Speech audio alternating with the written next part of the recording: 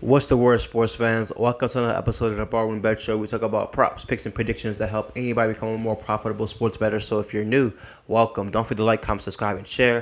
It helps get the content out there. We have a great one for you all already. But if you have not done so, Click the link down below, get access to the Cappers Collective Discord room because we got over a dozen cappers making dozens of plays, multiple sports every single day, man. So our plays are already posted right now, so get access to that.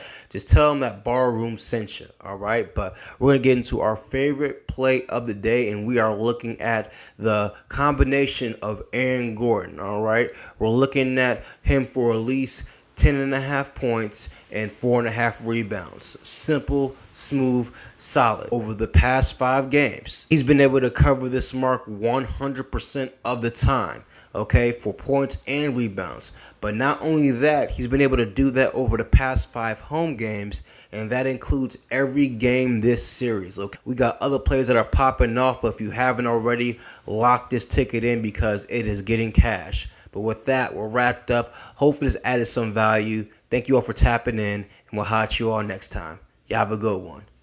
Peace. Your favorite sports book, BetUS.com, is back for our 28th year of NFL action. With the industry's biggest sign-up bonus of up to 200%, BetUS offers our members the opportunity to cash in on all your favorite sports, including NFL, NBA, MLB, and more. Sign up at BetUS.com today to get into the action.